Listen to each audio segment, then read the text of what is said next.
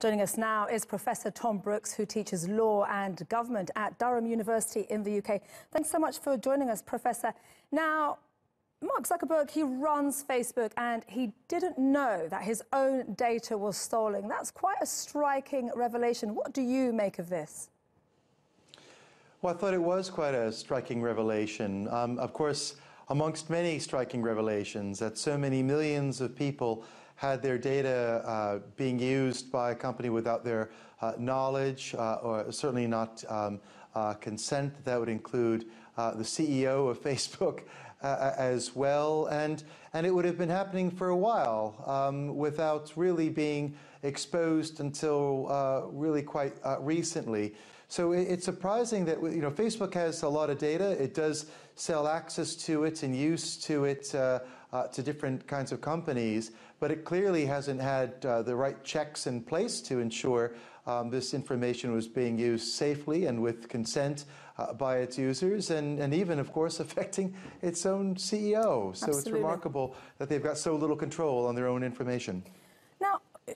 We, I mean, you lecture on, on law and government at Durham University. What, how concerned should we be about what we're seeing here is really the true power of Facebook? And what are you telling your students and, and how are they reacting? Well, I think a lot of students are very concerned because they, social media is something that uh, a lot of people uh, use, especially uh, younger people are very active on Facebook, Twitter, uh, and other types of, uh, of, of, media.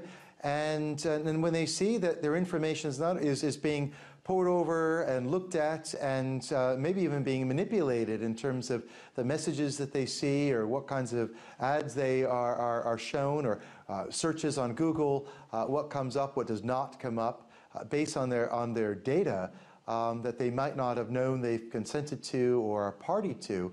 This is a very concerning thing uh, for a lot of people. The problem here, of course, is that um, you know Mark Zuckerberg's big problem was his share price of, of Facebook. I think you know he was really concerned to kind of uh, put a, a, stop to the story and draw a line under any problems and, and give a clear message that things are in hand. Um, but this is a very difficult area of law to, uh, to regulate, given its complexity, its size, uh, and its scope. It's something that there's some very serious lobbying in Washington, D.C. Uh, to prevent, to stop.